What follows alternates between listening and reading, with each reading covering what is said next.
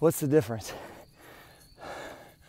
I always talk about how clear I think at the end of my lunges uphill, and it's all because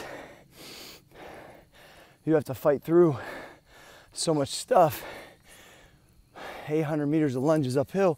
When you get to the top, I think you get that endomorphic release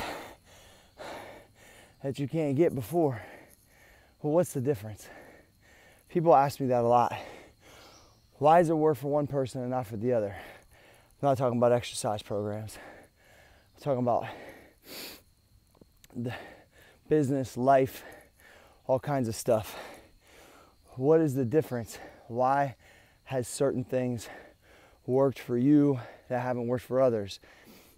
I believe the determining factor initially and most off is self discipline.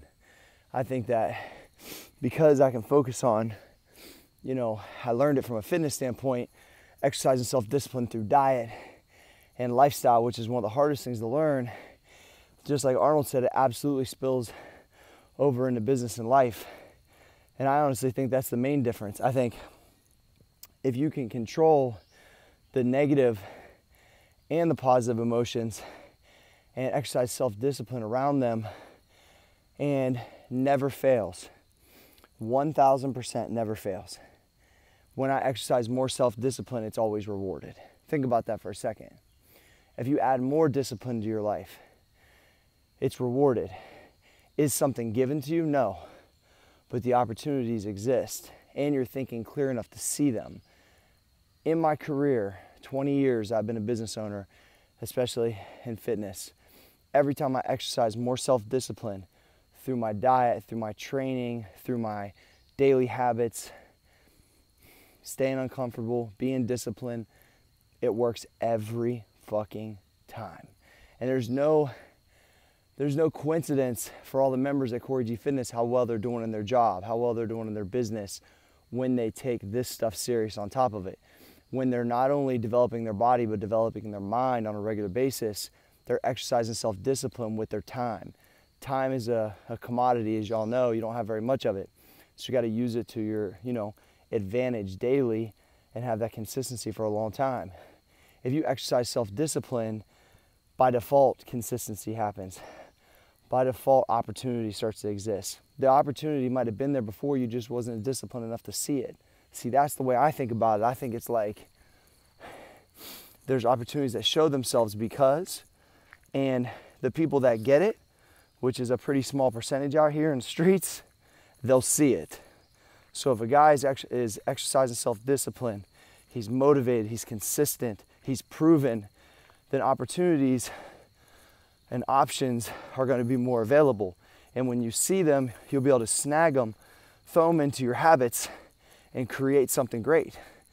And I just think every day when I wake up, if I can have that discipline to get up at fucking three in the morning, if I can have that discipline when I'm tired to still lunge up this hill, if I can have that discipline to keep the content schedule, if I can have that discipline to not let my ego get the best of me. If I can, there's a, there's, you know, Andrew Carnegie talks about all the emotions that you have to be disciplined in and all the things that are some, you know, that are harder than others.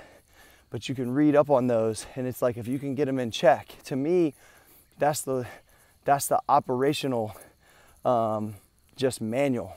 The wisdom of Andrew Carnegie told by Napoleon Hill. I followed it for years.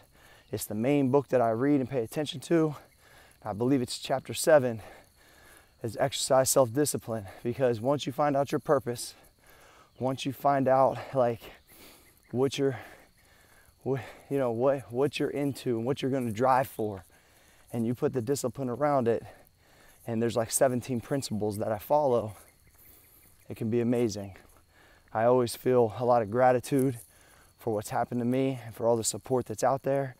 And I just know that if I continue to discipline myself more and more and live that life where it's like in the 90 percentile of what needs to happen, got to have fun, you got to relax, you got to have some things that happen.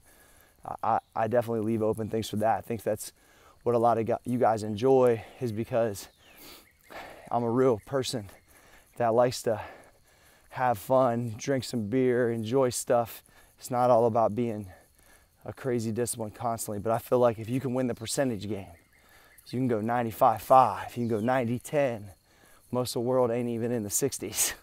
So just look at that, evaluate what's going on right now, and look at how your discipline is across all facets and see where you can improve on. Because if you just keep reminding yourself that if you get through that uncomfortable feeling, that discipline is rewarded, I think that's the difference.